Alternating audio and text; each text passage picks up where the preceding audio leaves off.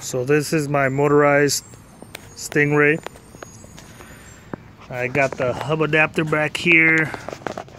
So you're not riding on the spokes with the factory that comes in, you know, and uh, works pretty good. It's a 34 tooth. There's the chain tensioner right there. Clearing everything barely, but we're making it.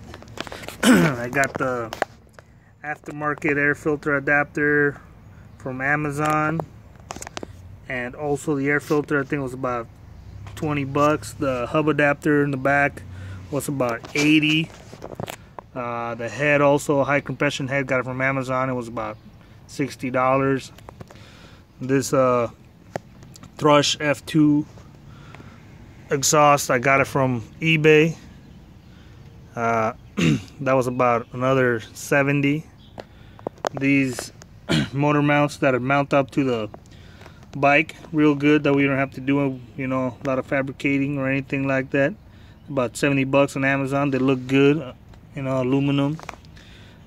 And also stock ignition uh, the factory stock plug. I was running a hotter plug but I put a higher compression head so I had to go back down heat range. Speedometer right there. Got some lights uh, the back lights being charged right now so it's not on there. Got a front drum brakes. Later on I might get a, bigger fork for a fatter tire but and then put front disc brakes on it but right now this works.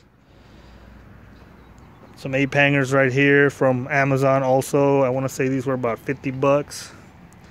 That front uh, drum brake was about 220 uh, there's the put a new tire on the back, a little meaty, kind of bad for roads, but you know you do what you can. And uh, got in this bad boy up to 28. Got those little hand grips from Amazon also. Amazon's my friend, looks like.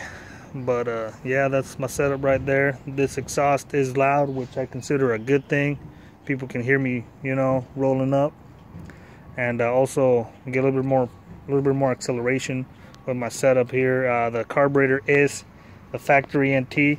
I forgot to mention I also got the short intake manifold for better top end. If that's what you're trying to get, then uh, you know you can get longer ones. But uh, that's what I got. Any questions? Post them on the comment section. I'll answer them the best I can. Thanks, guys.